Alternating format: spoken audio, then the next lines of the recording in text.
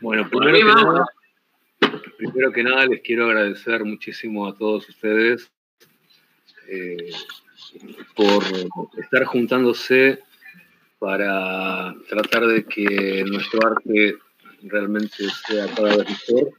Sé que estamos pasando un momento complicado cada uno, en realidad el planeta entero lo está pasando, y no sé si todavía mm, se tomó la dimensión de lo importante que va a ser quizás nuestro papel una vez que, que todo esto termine o empiece a solucionarse. Y realmente eh, encontrarse con un grupo de colegas que quiera mejorarse, que quiera perfeccionarse, que quiera eh, tratar de ver de qué forma eh, mejorar nuestro arte, realmente eso se agradece muchísimo y es lo primero que quiero decirles. Muchísimas gracias por esta experiencia y este experimento que a mi corazón le hace muy bien, lo, llena de alegría y bueno, los gestores de esto son ustedes, así que muchísimas gracias. así que bueno, eh, eh, un poco la idea de hoy eh, era conocerlos fundamentalmente, eh, saber de ustedes, eh, saber qué inquietudes tienen, ver cómo están. a muchos no los conozco, quizás ustedes me pueden llegar a conocer a mí, pero yo no los conozco. tengo todavía ese placer de conocerlos. Así que, bueno, un poco la idea era esa. y en esto estamos todos juntos creo que la única forma de, poder eh, salvar todas las diferencias va a ser si uno sigue estando junto y aprovecha estos momentos para... Yo sé que son momentos complicados, ¿no? Porque me estoy tocando la cara y no se debe alcohol para alcohol en gel. la mano y toda la historia. Eh, estamos todos aprendiendo cosas nuevas y en esto de aprender cosas nuevas, que esto parece un chiste, pero es real, ¿no? Eh, estamos acostumbrados a tocarnos, a, y va a ser todo nuevo, y a partir de esto, también nuestro arte va a tener que ser puesto de una forma distinta. Entonces, eh, quizás yo estoy, les voy a compartir una cosa que estaba pensando en estos días. Eh, nuestra industria, yo vivo de la magia, más allá de poder de tener el gran privilegio de, coachear a muchos colegas de Argentina y del mundo en sus distintas disciplinas. Eh, yo me dedico a hacer espectáculos para espectadores. Por eso hablé de nuestra industria. Nuestra industria fue la primera que paró y quizás sea una de las últimas en entrar en movimiento. Entonces, eh, claro, la recesión un poco se nota y es comprensible. Pero hay que aprovechar el momento, es mi opinión, por supuesto, ¿no? Hay que aprovechar el momento para prepararse, para estudiar, para aprender todo lo que uno no conoce. Uno a veces, a veces me preguntan, pero ¿cómo no conoces esto? Eh, soy tercera generación de magos y no conozco todo, es imposible. Olvídense de que pueden conocer todo. El que diga que ya conoce todo, que por favor me pase la receta, porque le doy un millón de dólares. Así, es una apuesta así de una. Entonces, como es imposible, eh, para mí también, yo también estoy estudiando mucho, estoy reestudiando un montón de cosas y estoy aprendiendo muchas otras cosas, porque todo está cambiando.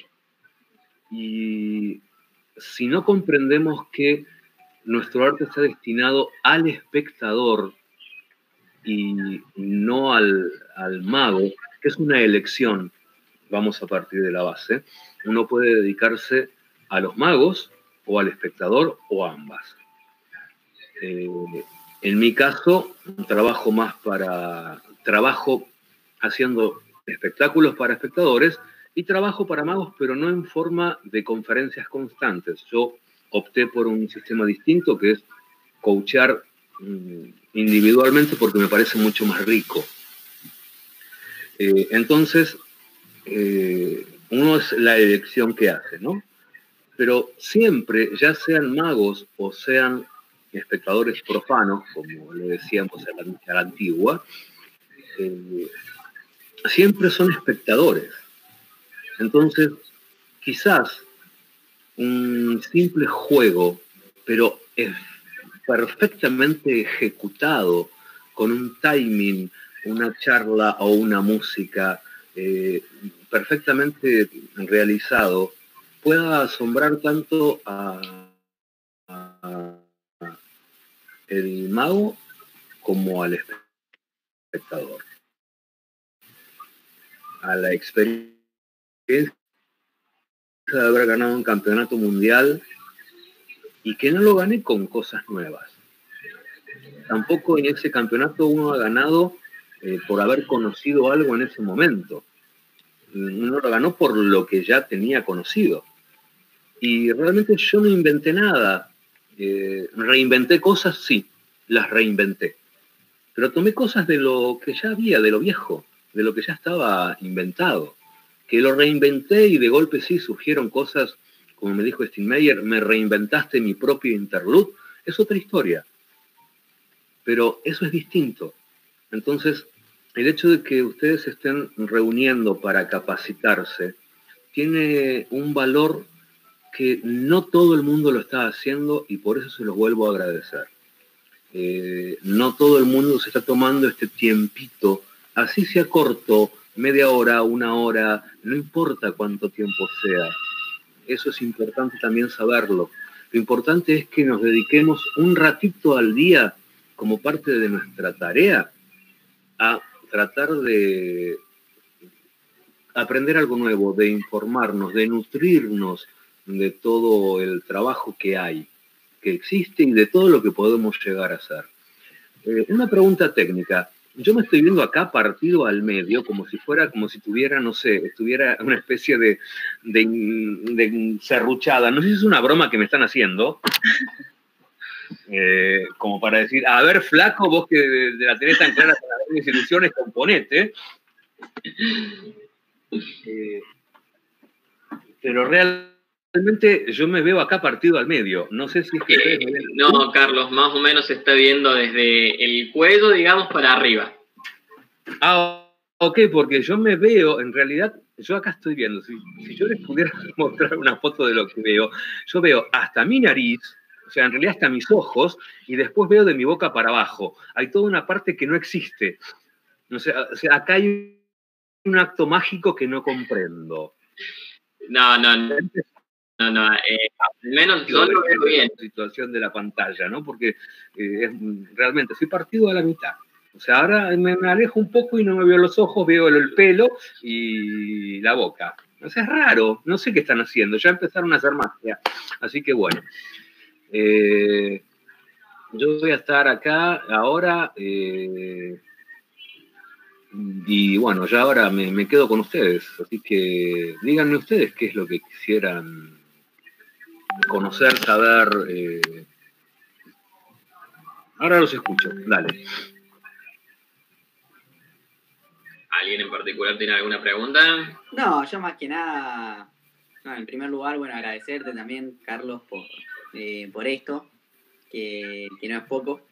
Y, más que nada preguntarte vos cómo, cómo ves, ¿no? Este tema magia, o sea, más hablando más de forma más personal, ¿no?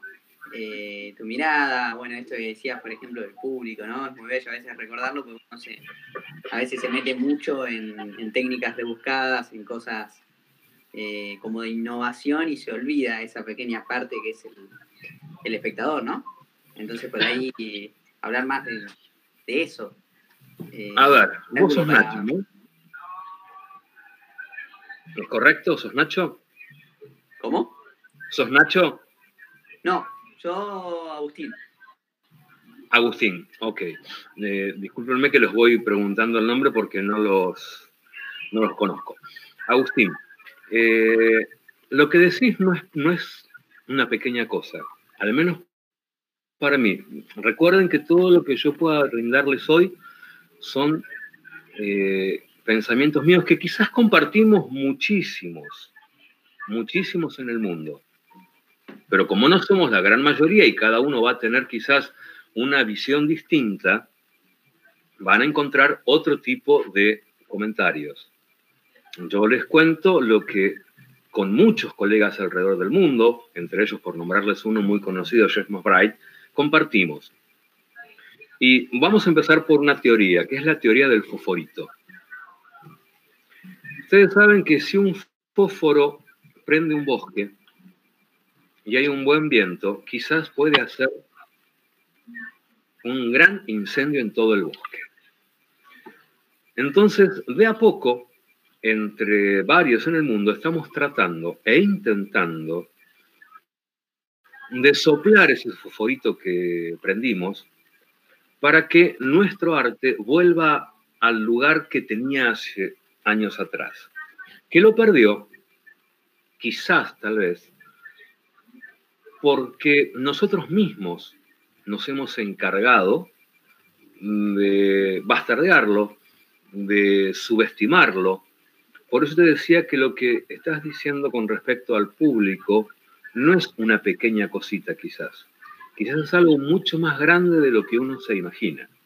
Entonces ahora te invito a reformular la pregunta. Así la hacemos más concreta. No, eh, más que nada, por ahí, o sea, era tu visión eh, particular sobre, sobre eso por ahí explayar un poco más, más eso. Pero eh, expresate bien, esto también es parte de lo que, de, lo que estoy tratando de mostrarles. expresad bien la pregunta, porque si no aprendemos a expresar bien las preguntas entre nosotros, cuando le querramos preguntar algo al público, no nos va a entender. Y vamos a decir este público, de mierda, cheque culiao que son, que no entienden una goma de lo que estoy haciendo. ¿Me entendés lo que te digo? Yo te puedo entender, pero lo que estamos tratando, vamos a hacerlo en forma práctica, es como de golpe una pregunta, si no está certeramente preguntada, el público no sabe qué responder. Entonces le decimos, che, ¿por qué, no te, ¿por qué te tomaste cuánto ferre te tomaste? Que no me entendés lo que te digo, disculpen la charada y la broma, pero lo estoy tratando de hacer así para que sea un poco más divertido, ¿no? Eh, entonces, por eso te dije, te invito a reformular la pregunta. Porque si no es como muy abarcativo, es tan grande, tan grande, que es como decirles, ¿qué ven acá? Un atado de cigarrillos. Y seguramente pueden llegar a ver que tiene una marca. Ahora, si yo lo pongo de este lado, ¿ustedes ven la marca? ¿Tan grande como la veían antes? No. Sin embargo, sigue siendo el mismo atado de cigarrillos. Y si lo doy vuelta de este lado, va a ser distinto porque no tiene la foto, pero es el mismo paquete de cigarrillos. Y de este otro lado es totalmente distinto. Y sin embargo estoy hablando del mismo atado de cigarrillos, de un mismo atado de cigarrillos. Tenemos ya un montón de distintas visiones. Si no soy específico y te digo, bueno, ¿qué ves en este estado de cigarrillos? Y si, no si yo lo que quiero hacer es forzarte a algo, ¿qué ves en ese estado de cigarrillos? Estoy siendo claro, estoy siendo concreto. Yo te digo, ¿qué ves en ese estado de cigarrillos? Y no sé, y lo estamos haciendo con la mejor onda, pero eso también es estudiar que seamos muy concretos. Entonces, Ahora sí, Agustín, te, vuelvo a decir, reformulemos la pregunta. Bien, eh, entonces ya yendo a, una forma más, lenguaje más, más concreto. Tu, magia es para espectadores, eh, mi magia es para espectadores y para magos. Bien. Yo, eh, lo que me quería expresar, porque por ahí no tenía una pregunta concreta, pero era esta cosa de decir vos eh, cómo lo veías, porque de repente hay magos como Tamariz, por ejemplo, que tienen magia tanto para público como para magos, como después hay magos como Da Ortiz, que es más para magos, como de repente hay eh, magos que son simplemente para público. Mira, te voy a dar un gran ejemplo. Yo no hablo de colegas, si no estoy autorizado. Eh, te voy a dar un gran ejemplo. Henry Evans, de quien soy muy amigo y por, por eso puedo hablar y porque estoy autorizado para hablar. Henry toda su vida trabajó para magos. Vive dando conferencias y vendiendo productos para magos. No es que no se pueda presentar ante público, pero no tiene el timing, quizás, o no tiene por ahí eh, la soltura de pisar el escenario todo el tiempo. Digo el escenario en el sentido que puede ser escenario, puede ser un bar, puede ser una mesa, lo que sea, para el público. Entonces, uno tiene que tener primero en claro hacia dónde va a apuntar su carrera. Eh, ¿Por qué te digo que yo trabajo para los dos? Voy a volver otra vez a algo que mm, a mí me llenó de satisfacción y lo lucré, honestamente, durante más de 17 años, que fue The Time Is Now, la rutina con la cual yo gané el campeonato mundial. Estaba pensada para público. ubiquémonos en los años 94, donde de pronto existía el gran show principal en los eventos, no como hoy. Estamos, por eso, mm, traspolo, ¿no? En aquel momento, mm, yo era uno de los magos que más eventos hacía y eran, estaba para que se den una idea, era o Pachano como show principal y yo como show alternativo, o yo show principal y Pachano el que venía después. O sea que eh, se los nombro a Pachano porque es una figura muy conocida hoy por hoy. En aquel momento estaba con los bottom taps, que era lo máximo. Entonces, claro, se montaban los escenarios, toda la historieta. Yo de Time is Now la empecé a pensar para los espectadores. ¿Qué pasó? Que de pronto yo meto detalles por ayuda, y acá viene la parte de, vuelvo a decirles, del trabajo en equipo. Eh, cuando, y esto también se notó en, en la entrega de premios del 97, porque yo hice un quiebre en lo que es la magia. Antes era el mago y sus asistentes. Y yo fui muy claro, es Carlos Barragán y su equipo. Es el trabajo en equipo. Y yo debo reconocer que Fantasio a mí me ayudó mucho, porque a mí Fantasio me dice, me encanta esa rutina, no sé, lo que estás logrando es algo maravilloso, pero ese interlude de mierda ya lo hizo Pendragons con toda la musculatura. David Copperfield con todo ese quilombo de las velas, las minitas y el coso que da vuelta. Siegfried and Roy que pasaron el, el, chita por el medio. Metele, aunque más no sea, una luz en las patas porque la caga. Bueno, ahí es donde de golpe a mí lo traslado a mi equipo y ahí empezamos a trabajar. Y meto de por medio un tema manipulativo como fue la bola Oquito. Entonces, ahí eran guachadas para magos, porque vamos a ser honestos, eran guachadas para magos, que dicho sea de paso, eh, esto es en precaución, ¿no? Yo tenía, yo tenía preparada otra bola, por las dudas, porque era el escenario más grande del mundo, 40 metros de boca, y por más que yo lo había ensayado en un lugar muy grande que me habían prestado, mm, no sabía si se me podía llegar a cortar o no. Pero por las dudas tenía la salida. Yo creo que si lo hubiera hecho a propósito, hubiera sido el Grand Prix indiscutible. Porque se tuvo que definir, yo tengo puntaje de Grand Prix, eso se puede ver en las planillas de la FISEN, hubo que definir el Grand Prix por 30 segundos de esta innovation. Fantasio, junto con otros, con Richard Ross, fue el encargado de sentarme y explicarme cómo tuvieron que llegar a esa determinación. Entonces, de golpe a veces podría haber hecho la, de los mal, la del equilibrista en el circo que le falla y después... Pero esas fueron las guachadas que yo metí para magos. ¿Se entiende el concepto? Sí. Metí un par de guachadas para magos que no se la, veía, no se la esperaban ni se la veían venir, pero era para público. Entonces, cuando uno prepara algo, tiene que tener muy en claro eh, qué es lo que va a preparar y para quién está dirigido. Ya sea para magos, para público o para ambos. No sé si más o menos te respondí ahí. Sí, sí, sí, sí.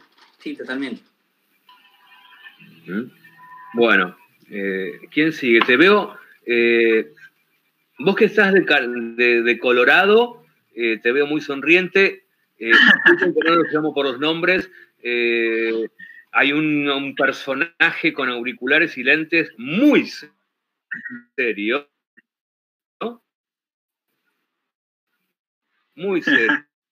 No, no, no, estoy serio, lo que pasa es que el alumno me alcanza. Que, no lo puedo ver, que dice MC, eh, que no sé quién es, pero bueno. Eh, sí, claro. ¿Qué?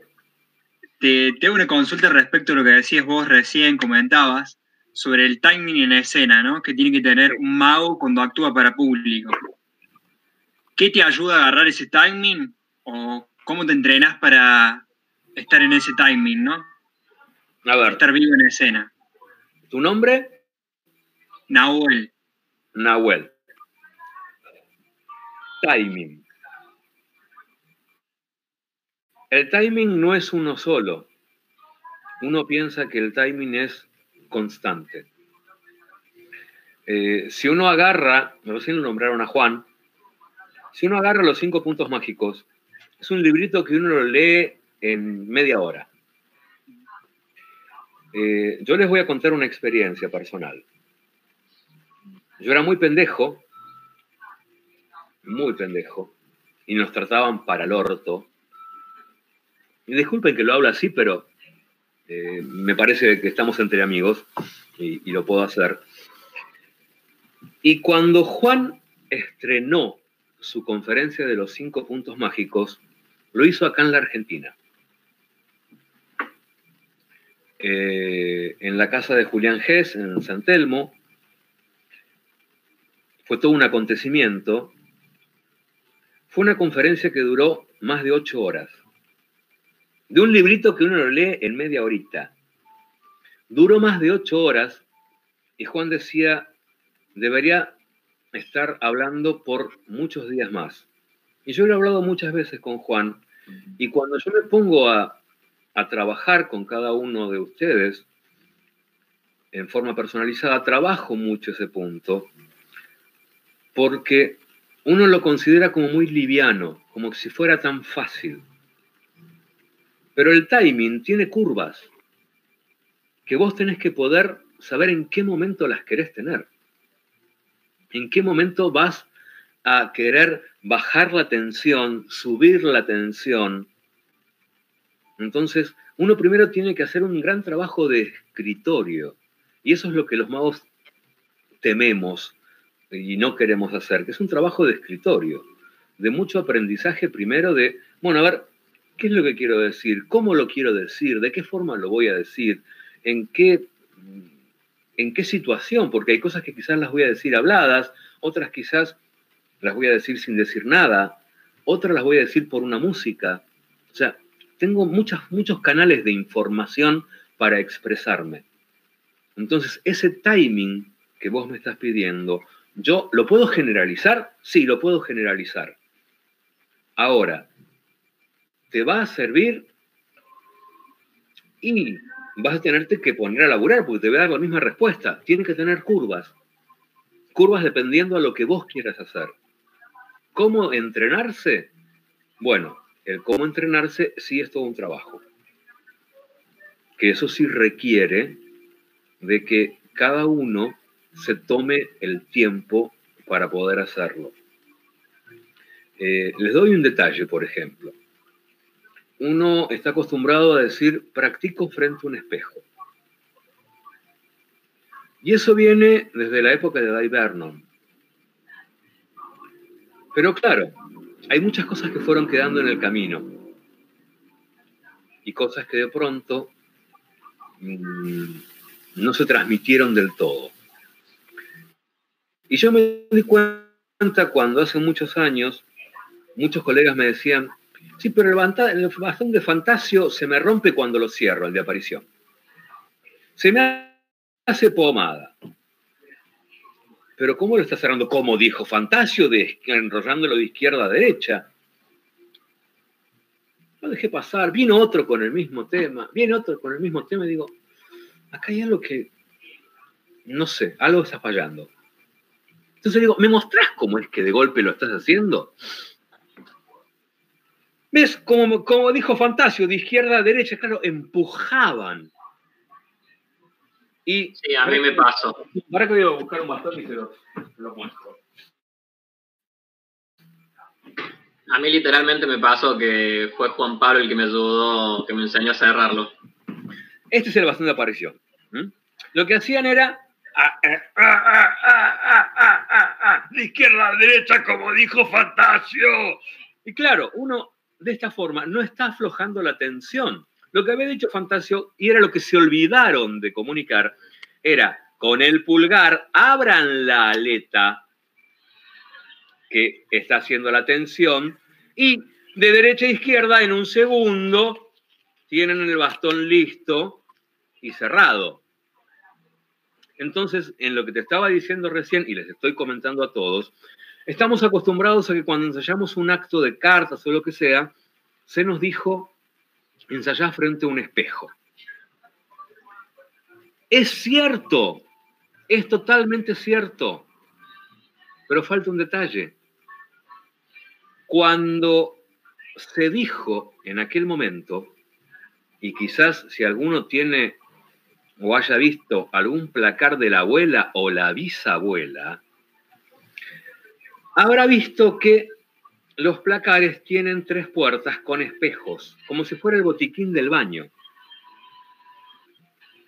Entonces, de esa forma, uno podía mirarse en casi en un 180 grados. Entonces el ensayo al espejo cambia radicalmente, porque si no estoy así, mirando, ¿eh? ¿Eh? Y hago magia para mí.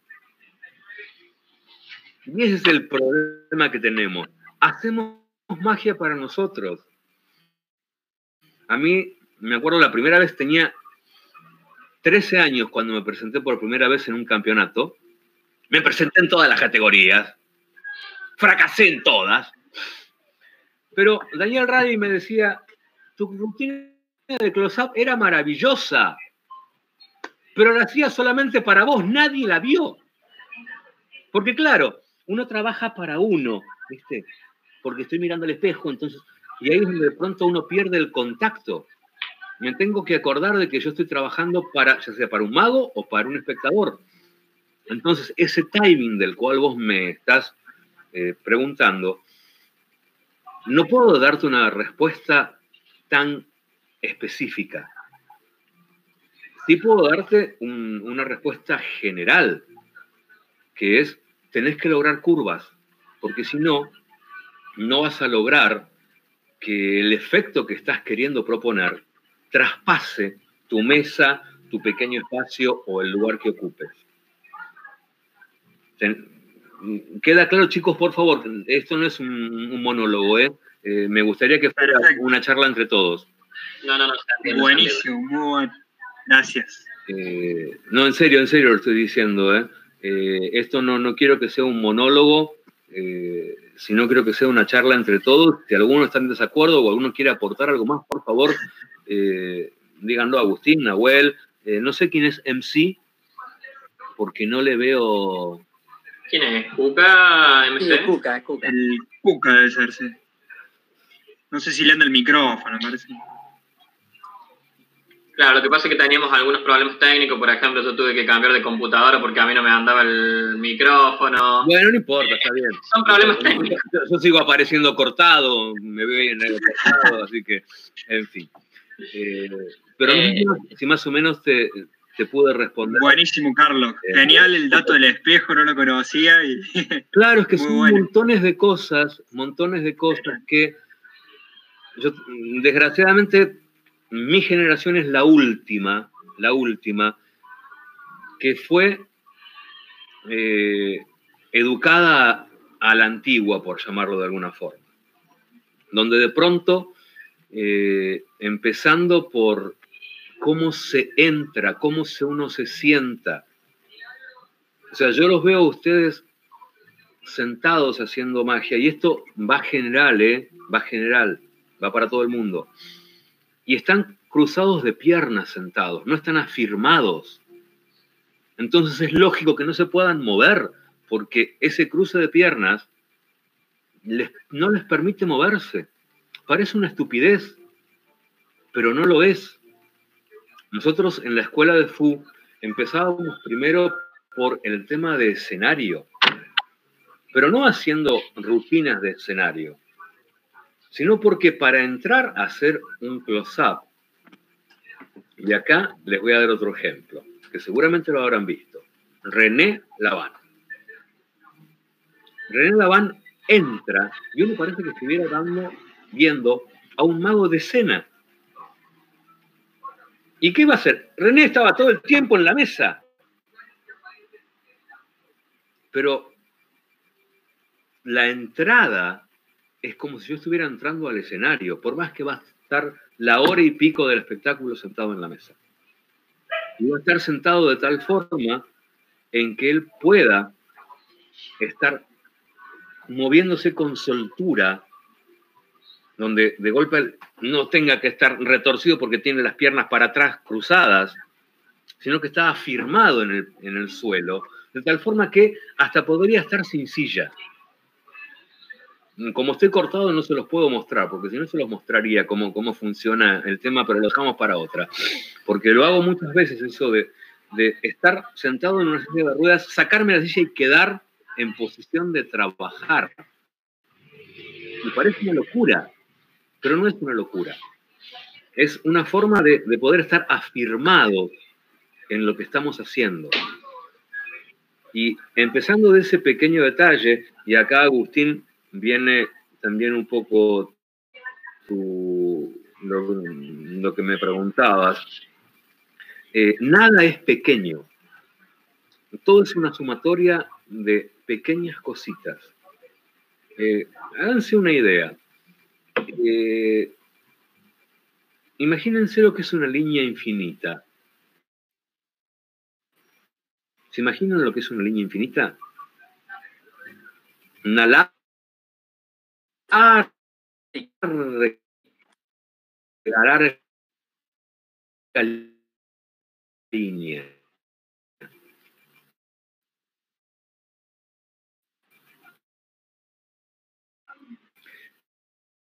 Si uno la de la pudiera ver un trazo, son un montón de puntitos. ¿Estamos, estamos de Sí, acuerdo acá? Sí, sí, sí. Sí. Ok. Ahora, ¿qué pasa si yo saco ese micronésimo puntito de esa línea infinita? Deja de ser infinita, eh, se corta. Claro, pierde continuidad. Y fíjense algo que lo voy a decir más filosóficamente. Esa línea infinita era una línea inmortal. Saco ese puntito de mierda y de ser inmortal pasa a ser mortal. Fíjate la importancia, Agustín, de ese pequeño detalle. Parece, yo por eso lo digo paradójicamente y muy filosóficamente, pero fíjense la importancia de ese pequeño detalle. Cambia, cambia totalmente la perspectiva de algo inmortal a algo mortal. ¡Wow! Creo que hay una pequeña diferencia.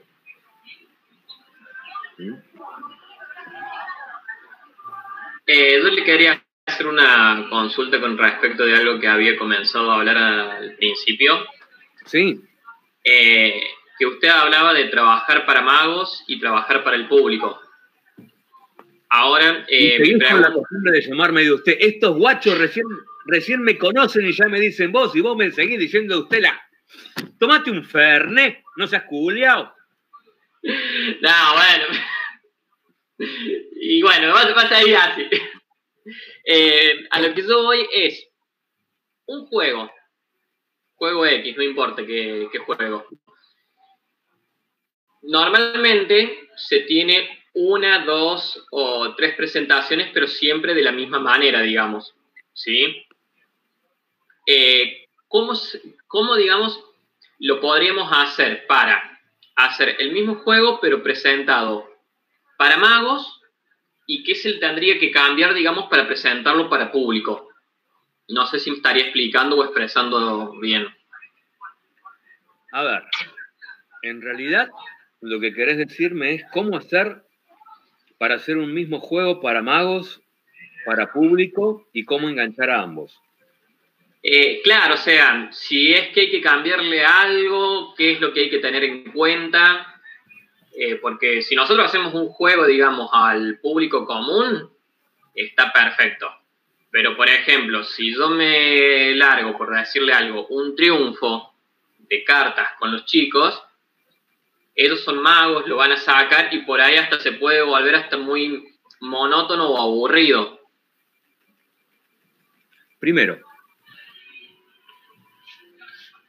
cuando uno está mirando magia, si no está siendo jurado de una competencia, mejor seguí siendo un espectador. Seguí mirando magia sin tratar de descubrir el truco. Permitite a vos mismo y permítanse a ustedes mismos seguir asombrándose. Eh, les voy a contar una pequeña anécdota mm, personal. Mis padrinos eran, son, lo siguen siendo, Siegfried and Roy. Cuando yo vivía en Las Vegas, constantemente, cuando iba a ver el show, Siegfried and Roy me querían sentar adelante de todo.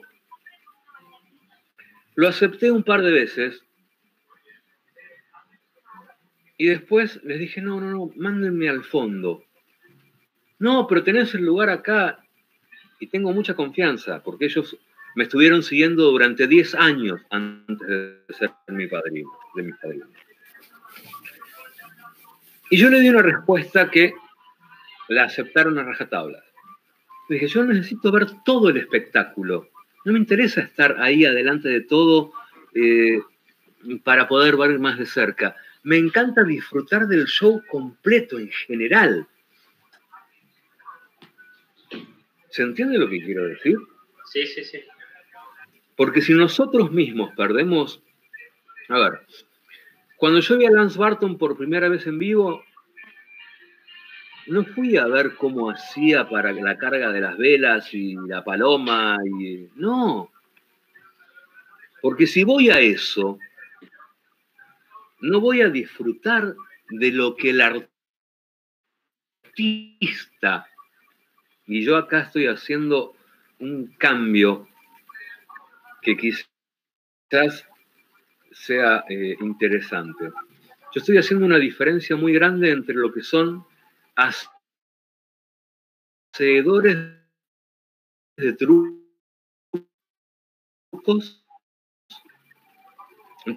el intento es ser un artista del asombro, no va a va a tratar de transmitir algo.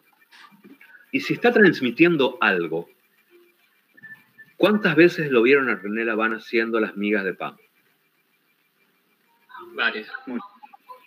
¿Te importa o no te importa la forma con la cual lo está haciendo? No, es, mm, digamos, llega a asombrar más que lo que puede llegar a importar cómo lo hace. Entonces ahí tienes la respuesta. Ahí tenés la respuesta. O sea, no es, a ver, muchas veces confundimos, y acá tenemos el mismo criterio, eh, yo soy jurado FISM, entonces mm, tenemos un criterio en común. Eh, y es que no quieras hacerme, estoy hablando de un campeonato, ¿eh? No estoy hablando de magia pública. Me estoy yendo ahora al otro extremo. No me hagas las 4.000 técnicas para mostrarme todas las que sabes. Haceme una perfecta.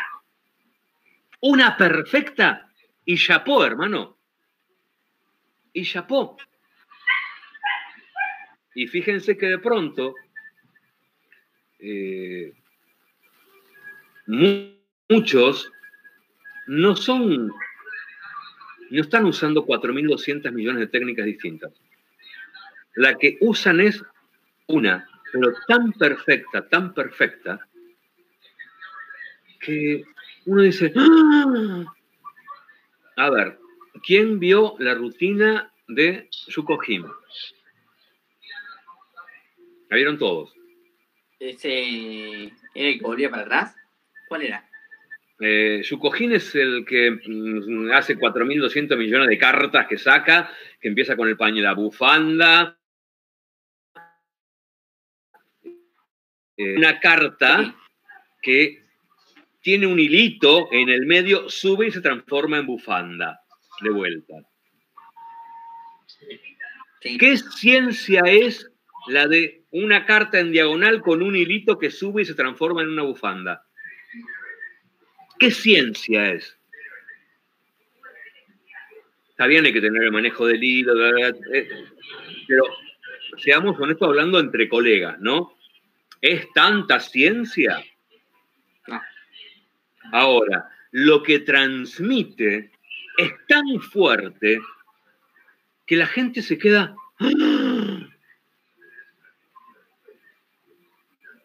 Y en ese campeonato, por ejemplo, ahora hablando del trabajo en equipo, Chukojin no era el más técnico, era Pablo, su amigo. Pero de todo el grupo de coreanos, y eso, eso es un proyecto de país, es distinto, de todo el grupo de coreanos, el que más transmitía era Chukojin. Él era el punta de lanza de Corea, por más que no fuera el más técnicamente perfecto. Porque Pablo es mucho más perfecto, manipulativamente, pero no transmite lo que transmite Yokojin. Entonces, volvemos ahí al tema. ¿Por qué queremos impresionar al colega con 4.000 técnicas? Es importantísimo conocerlas. Es muy importante conocerlas. Es muy importante poder dominarlas pero no puedo lograr la perfección en las 14.000 técnicas que hay para forzar una carta. Voy a ser perfecto en tres, ponele. Pero ¿cuántas técnicas hay? Honestamente, uso dos. Nada más. O tres, si quieren. No uso más, más que eso. Porque si no, ¿qué estoy haciendo? Estoy volviéndome como eh, tratando de ver y eh, cómo hago. Eh, no, no, sorprendeme de lo bien que lo hago. No de, ah, mira todas las que conozco. Sorprendeme de lo bien que lo hago. Ustedes me hablaban de Dani Ortiz. El amigo Dani, ¿qué hace de nuevo? ¿En qué, en qué barullo los metí, no? y el manejo que tiene, nada más, pero las técnicas son viejísimas. Que las técnicas son viejísimas, Repetilo, repetilo. Que las técnicas que usa son viejísimas. Están todas en la cartomagia de Hoffinger. Sí, Hoffinger. Pero ¿cómo las hace? No, espectacular. Entonces, se dan cuenta de golpe cómo uno tiene que empezar a, poder leer. Por eso, Agustín, que está muy callado, eh, te decía, formula la pregunta correctamente. Porque entonces no es el tema de cuántas técnicas conozco. Es, vuelvo a decir, es importantísimo conocer todas las técnicas para poder saber cuál es la que mejor me sirve a mí. Porque quizás la que para uno es perfecta, para el otro no es perfecta. Entonces sí tengo que conocer todos los métodos, por ejemplo, hablando de forzaje. Es genial conocer todos los métodos de forzaje. Pero ¿cuál es el que me queda más cómodo a mí para hacerlo perfecto? Es lo que decían recién, Daniel Ortiz no usa nada nuevo. Es todo viejo. Y lo que hace, lo hace perfecto. Les puedo dar otro caso, Juan Rubiales. Estoy hablando más que nada de magos que hacen magia de close-up, que es lo que ustedes más tienen cerca, ¿no? Cuando lo conocía José Luis, él me decía que sus comienzos fueron con allá en España y yo le pregunté, le dije directamente, pero es impresionante cómo es el doble leaf. Es una perfección absoluta. Me dice, pues hombre, que si tú supieras lo que fue para mí un parto, mis comienzos, porque tuve el gran ojete de que tenerlo como maestro en aquella época a Ascaño y a Tamariz. Pero todas las semanas, durante un año entero, un año entero, me tuvieron todas las putas semanas haciendo pura y exclusivamente el doble lift. ¿Cómo no quieres que lo haga bien si me tuvieron un año todas las putas puñeteras semanas haciendo el doble lift? Y el gordo estaba así como... Se le movía hasta el todo, ¿no? Pero claro, fíjate, un año entero, un año entero, todas las semanas, pulilo, te puede salir mejor, pulilo, te puede salir. Y uno lo ve y lo hace con una naturalidad. Y es algo tan impresionante que uno se vuelve loco. Entonces, ¿está haciendo algo que es magia para magos o está haciendo magia para público? está haciendo magia para público porque el doble leaf lo usamos para el público. Si uno es una ambiciosa, lo usa todo el tiempo. Pero lo hace con una perfección que de pronto, joder, hostia, como dijeron los gallegos. Yo no le veo el doble leaf. O sea, a mí me, me dicen, ¿cómo haces para manejar los hilos de la forma que lo haces? laburo con hilos hace 30 años.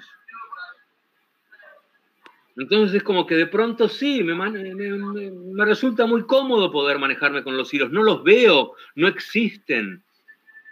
Una vez Tony Montana me dice, ¿empezás la bola con los ojos cerrados? Le digo, sí, y me esfuerzo a abrir los ojos por respeto al público. Porque si no, la haría todo el tiempo con los ojos cerrados porque como me entrené haciéndola con los ojos cerrados, para que saliera perfecta y no tener que andar diciendo a ver cómo sigue, cómo va, cómo viene, lo disfruto tanto que me, me vuelo, me voy a otro mundo y juego, entonces no existe un hilo y me tengo que forzar a abrir los ojos y estar conectado con el público porque yo estoy trabajando para ellos. Entonces no es un tema de que, a ver, es un hilo de mierda. Vamos a ser honestos, es un hilo de mierda. No es un hilo de mierda. Tiene toda su historia, todo lo que uno quiera. Pero es la práctica y la obsesión porque ese producto salga perfecto lo que me permitió a mí poder jugar con los hilos como juego. No domino todos los juegos con hilo. Domino algunos a la perfección, otros todavía les tengo respeto. ¿Se entiende lo que quiere decir? Y ojo que estoy considerado a nivel mundial uno de los mejores conferencistas sobre hilos. No existe una conferencia igual en el mundo. Pero tengo que sentirme. O sea, para mí es, hay muchos juegos que sí los domino perfectamente y otros que todavía les tengo respeto. Me queda mucho por aprender para tenerlos perfectos. Entonces, eh, te veo como Nahuel, eh, eh, te veo ahí mm, así como diciendo que, no sé si es que te estoy aburriendo. no, no, buenísimo, buenísimo. al contrario, al contrario. recordado es que me, me, concentro y que la verdad que está, está buenísimo, porque son ideas que a veces uno no, no se plantea, ¿no? O, o a veces pasa que uno se va mucho para lo técnico o como que se va centrando en diferentes cosas y por ahí pierde un poco la, visión en, otras. A mí me pasa que yo trato de ser muy teórico y que a su vez trato también de, de plantearme como artista qué quiero expresar. Pero a veces pasa que nos centramos en algunos juegos y por ahí nos vamos mucho a lo técnico, como a su vez yo, bueno, yo estoy acá en Buenos Aires, y bien sigo perteneciendo a ese grupo, y yo estoy estudiando con Marcel, ¿no? Ajá. Eh, oh, bueno. Que en realidad estoy como más perfeccionando, o sea, porque yo quería perfeccionar lo que yo hacía y bueno, terminé con Marcel. Y estoy trabajando una rutina y por ejemplo mi agua y aceite, que está dentro de la rutina, yo uso el de deslizar la carta, que es una técnica casi básica con la cantidad de técnicas que hay para cambiar las cartas en el agua y el aceite, ¿no? Porque está lleno. Pero yo solo deslizo las dos cartas para que me quede ya completo. Eh, y a veces pasa que mostrando el agua y el aceite hay gente que te dice, no, pero mira esta técnica. Y yo me identifico con esa. Entonces esto que, vas diciendo, viste, que vas como, como comentando, la verdad que me sirve muchísimo también para reforzar lo que yo, lo que yo hago. Bueno, quizás con Marcel verás que no tenemos tantas diferencias por ahí de conceptos. Sí, sí, tal cual, tal cual. Eh, yo he trabajado mucho con Marcel también, entonces es como que por eso sé que de golpe cuando dijiste ah, bueno, te dije, ah, bueno, porque he trabajado mucho con Marcel también. Entonces, sé a dónde apunta también. Y lo que vos decís es cierto, pero uno tiene que estar receptivo también a que si viene otro y te dice, mira esta técnica, mirarla con entusiasmo, porque el otro está queriendo mostrarte también algo de lo suyo. Acá hay un tema que uno no le da mucha pelota, y es un tema que quizás, quizás aparentemente no tenga nada que ver con la magia, pero es quizás el factor más importante que existe y que lleva mucho tiempo de estudio y mucho tiempo de práctica que son las relaciones interpersonales. Eh, uno de los grandes magos de la historia, que bueno, yo aquí en, todo este espacio que ven, eh, no hay nada puesto al azar, cada cosa tiene su porqué y, todo tiene una, cuestión específica de por qué está puesto. En realidad, en este panel central que hay por aquí. Eh, el centro lo ocupa un cuadro de Tarston. Tarston fue considerado el decano de los magos, o sea, el mago por excelencia. Él trabajaba en los años 30 y en aquella época logró hacer 3 millones de dólares, lo cual sería hoy más o menos el doble de lo que facturó Copperfield. Y él, en una de sus últimas entrevistas, decía, yo no, no sé más que otros magos. Es más, hay colegas que saben mucho más que yo. Pero cuando yo subo al escenario, no miro por el agujerito del telón y veo a toda esa gente y digo, uy, cuántos estúpidos tengo para engañar hoy. Yo miro y digo, wow, toda esta gente vino a verme a mí. Toda esta gente invirtió parte de su dinero y su tiempo en venir hasta acá a verme a mí. Yo hoy por ellos tengo que dar lo mejor. Parece una, anécdota,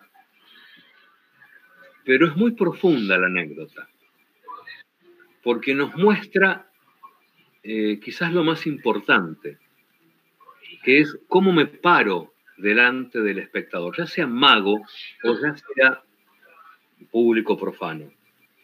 Y cuando de pronto yo les digo, hay algo que no se está teniendo en cuenta y que mm, todos los que llegamos a muchos lados eh, lo hemos tenido en cuenta y nos ha costado mucho estudiarlo y estamos intentando pasarlo sí o sí, que es este tema de las relaciones interpersonales. No es gratuito, al contrario, da muchísimo beneficio. Eh, si no, uno no estaría acá tratando de escucharlos a ustedes. Yo estoy aprendiendo en este momento de ustedes. Porque ustedes me están preguntando cosas, están planteando otras cosas, y yo tengo que ver cómo tratar de, de responderles y que les sea útil, lo cual para mí es una enseñanza. Entonces, eso, ¿cómo lo puedo medir? no, hay forma de medirlo. Entonces, ese tema de viene otro y te dice, oh, mira esa técnica que es mejor. El otro nos está entregando lo mejor de él. Y uno puede decirle, ah, qué bueno, qué copado, pero vos sabés que de pronto a mí no puedo hacerlo como lo haces vos, me resulta más fácil esta. Entonces, parece una tontera, pero ustedes que están intentando trabajar en equipo, quizás esto les sirva mucho, porque entonces no van a descartar porque viene un culiao y te dice, che, mirá, no, eso lo estás haciendo. Te está tratando de ayudar. Desde su, desde su forma, de su estilo, te está tratando de ayudar. Entonces no puedo descartarlo, porque quizás me traiga una gran solución. Y ojo con lo que les acabo de decir, porque no sabemos nunca de dónde pueden venir las grandes soluciones y quizás vienen hasta del público. Guarda. Porque cuando uno hace un efecto, un efecto de magia, y el público da una posible solución, que nos pasa, el que esté libre de pecado que tiene la primera carta, eh, por ahí nos está dando una solución que ni la pensamos y es genial. Y no lo escuchamos porque no, es un público de miércoles, ¿qué me va a explicar él a mí? Y cuando uno trabaja en equipo, como lo están intentando hacer ustedes muy bien, tienen que estar muy receptivos a todo eso. Yo me acuerdo que mi coach, yo actualmente yo me sigo coachando, nada que ver con lo mágico, pero sí yo me sigo todas las semanas, me sigo coachando con alguien que sabe mucho más que yo en ciertos temas, que yo desconozco. Entonces yo me sigo coachando. Y dos días antes de la competencia me llama mi coach a Alemania. No existían los celulares, no existía WhatsApp y toda esa historia. Ustedes dirán, ah, ¿qué me estás diciendo? Es 97, no estoy hablando tan lejos, ¿eh? No estoy hablando. Si bien es el siglo pasado, no es tan lejos, no es tan lejos. Eh, nos llama y nos pasa el siguiente mensaje.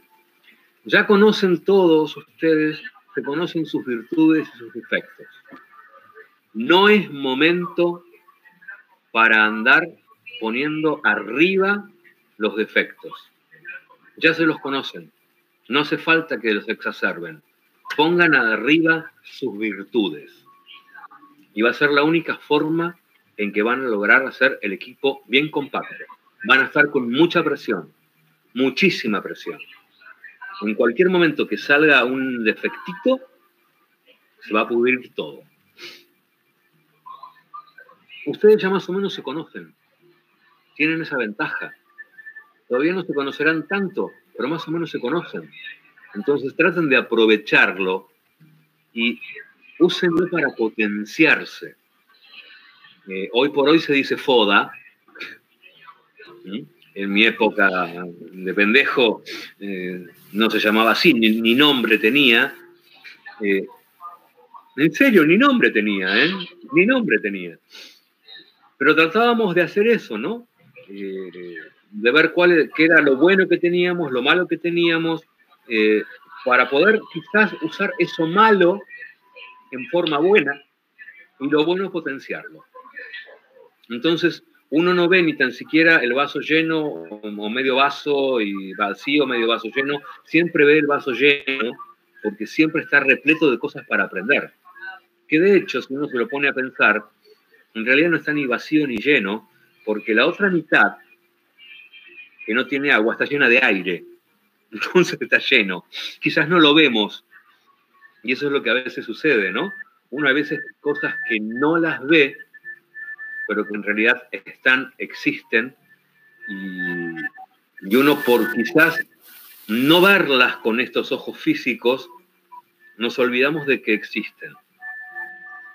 Y quizás esa es la forma de poder, para redondear lo que me preguntaban al principio, trascender esa, esa pared para el espectador, acercarse al espectador, para poder tener un buen timing, para poder lograr asombrar tanto a un mago como a un espectador. Y ese es el, eh, quizás el, el, circuito que uno puede eh, cerrar, porque hay cosas que no se ven, son las emociones. Y cuando uno llega al corazón del espectador, sea mago o sea profano, llegó al corazón del espectador y ahí es donde de pronto es como cuando uno va, al cine y va a ver una película. Si la película es muy buena, uno sale del cine y se va a tomar un café con los amigos, bueno, una, perdón, un ferne con los amigos y ¿qué se dice? Se la pasa hablando de la película. Va, va, la semana siguiente, se encuentran de vuelta y ¿de qué van a seguir hablando? De la película. Ahora, si la película no fue buena, se van a tomar un ferne, van a decir, che, estuvo buena la película, sí, más o menos, y en dos minutos se pusieron a hablar otra cosa. Nada mejor que llegar al corazón del espectador, ya sea mago o sea profano. Porque les puede llegar a pasar, a mí hace dos años me llegó un mail, que lo tengo encuadrado por, por acá, de una señora que me decía, Queremos saber si el señor Barragán está en la Argentina, porque hace 25 años atrás él le hizo el cumpleaños de 50 a mi hermano. Y ahora cumple los 75 años y nos gustaría volver a tener esa alegría de poder disfrutar nuevamente como lo hicimos hace 25 años atrás desde ya que no les cobré ese show ni en pedo, porque la emoción fue más fuerte para mí que para ellos. Imagínate que dejaste una persona marcada 25 años. ¿Y qué tenemos que lograr nosotros? Eso, lograr, está bien. Uno dice, bueno, pero René Laván es René Laván, o Barragán es Barragán, o quien fuera es quien fuera. ¿Por qué no poder serlo uno? O sea, si partimos de la base en que yo no lo voy a lograr, no hagamos nada, dedícate a la oficina. No te dediques al arte. Si te dedicas al arte es porque querés lograr un objetivo. Y si ese objetivo es alto, apunta a esa cosa alta. Lo demás se va a ir dando por añadidura.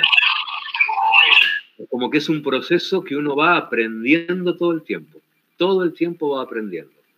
Y esa es la única forma en la cual, al menos para mí y para muchos que estamos trabajando de la misma manera, logramos que todo cierre, que sigamos vigentes, que de golpe podamos ser un referente, que pasen los años y uno siga trabajando. Yo les pido disculpas que tuve que adelantar media hora este encuentro, pero yo ahora a las 8 de la, noche tengo una reunión con la eh, cúpula de todos los organizadores de eventos, porque es un, estamos atravesando un momento complicado, quizás para uno, eh, digamos, yo desde aquí, desde todo este lugar que tengo, como lo hice anoche, puedo hacer un show en vivo. No tengo problema. Me manejo con las dos compus, tengo los controles remotos para ponerme la música, eh, como, y estoy solo voy manejándome la cámara con los seguimientos, tengo, eh, pongo el proyector para ver como monitor, o sea, lo puedo hacer. Pero los que tienen salones, los que dan catering, los que las bandas, ¿cómo hacen para seguir trabajando? Entonces es una situación complicada donde ustedes van a tener una, una gran posibilidad. ¿Qué van a decir? Este tipo está totalmente chiflado. Pero lo estuve pensando en estos días y es, nuestra industria fue la primera que paró en esta situación. Quizás va a ser una de las últimas que va a empezar a funcionar de vuelta, pero va a ser una de las más requeridas. Y no les digo que recuerden las películas de Hollywood antiguas, pero seguramente casi todos vieron Capitán América. ¿Sí? Sí, sí, sí. Bueno, recuerden que en una parte de la película, cuando él está, eh, se alista al ejército y se transforma en Capitán América, hay una parte en la cual él viaja por el mundo junto con las chicas. Bueno, eh, históricamente, las grandes superproducciones de Hollywood se hicieron durante la guerra la Segunda Guerra Mundial. ¿Por qué? Porque era una forma de poder mantener a la gente con el espíritu en alto y con un, ah, puedo lograrlo, con una esperanza y un sueño ante la devastadora realidad. Hoy por hoy, no sé, no puedo decir nada sobre el tema de hoy, no me pregunten, porque soy mago, no hago milagro, no entiendo nada de lo que está pasando, pero nosotros sí tenemos una gran responsabilidad, que va a ser que cuando esto empiece a, dentro de poco, ponerse en marcha, vamos a ser los que va a llevar lo que la gente está necesitando, que es el asombro, la esperanza, el volver a creer, todos esos valores que tiene la magia, que si no existiera, no formaríamos parte de ese engranaje que es el planeta Tierra. Sino, ¿para qué mierda existe la magia? O sea, pasaría a ser como algo que es de momento. ¿Por qué existe a lo largo de tantos miles de años? Porque tiene un, motivo para la especie humana. Tiene una razón de ser para la especie humana. Quizás mucho más importante de lo que nosotros mismos la imaginamos. Es una dimensión, ya estoy hablando de algo mucho más grande que nos, mm, nos extrapola a todos nosotros. Pero si no existieran los magos, no existiría esa esperanza, ese sueño, ese wow, ese asombro, que es la base fundamental para que el ser humano siga creciendo y siga viviendo. Fíjense la responsabilidad que tenemos. Por eso es tan importante que, y yo se los vuelvo a agradecer, que ustedes sigan trabajando y sigan viendo de qué forma eh, hacer cada vez mejor lo que hago. Aprender todo lo posible, todo lo posible, pero que lo que hago lo haga lo más perfecto que pueda. Y si puedo hacerlo más perfecto, más perfecto hacerlo. Entonces, eh, discúlpenme si por ahí me fui un poco de mambo eh, con algunas cosas, pero bueno, quería que un poco este primer contacto eh, fuera un punto de vista quizás totalmente distinto eh, a lo que uno puede escuchar generalmente, donde no, no estoy hablando de efectos, sino que estoy hablando de la primer regla de la enciclopedia, de la gran enciclopedia de la magia que es el Tarot. Y la regla número uno es, ¿alguno la sabe? ¿Ninguno? Se las cuento. La primera regla es, un mago no es aquel que hace un truco de magia, sino aquel que hace magia. Esa es la primera regla, así empieza. no, qué sé yo, ¿qué quieren? ¿Saber cómo se hacen los trucos? Empiezo. No hay drama, nos pasamos horas. ¿Para qué les va a servir? Para nada. Porque es quizás acumular un montón de información que en este momento, hablo de este momento actual, no la necesitan. Hoy necesitan quizás otro tipo de cosas. Por eso yo siempre digo, yo tengo un manual general y para cada uno tengo que armar un manual específico, porque cada uno es distinto. Cada uno tiene un cerebro distinto, un pensamiento distinto, un enfoque distinto, una personalidad distinta, un, un, un punto de hacia donde quiere ir distinto. Entonces, traten de como equipo de como equipo que están logrando hacer, dar esa vueltita de rosca y en estos momentos, sí, meterle con todo y aprovecharlo al máximo. No de todas las, de todo lo que puedan, de todas las artes, de todo lo que puedan mirar, de todo lo que puedan sacarle algo que de, ay, esto me puede servir, ay, esto que bueno, ay, esto que otro, ay, es todo inspiración, todo inspiración y es todo para poder eh, crecer y poder estar cada vez mucho más eh, fuertes y van a ver que se sucede esa magia, ¿no? Que es, uy, ah, mire, por ese dibujito animado que vi, mira, se me ocurrió este, y vieron un dibujito animado. Y eso me lo decía Fantasio antes de, unos años antes de, morir, eh, que él estaba, se había juntado con alguien que tenía un nenito, chiquito, y me decía, che, Carlitos, qué, época distinta a la que nos tocó vivir a nosotros. Porque cuando yo era pendejo, no había esta cantidad de películas impresionantes de donde se pueden sacar tantas ideas. Antes se nos tenía que ocurrir qué carajo hacer.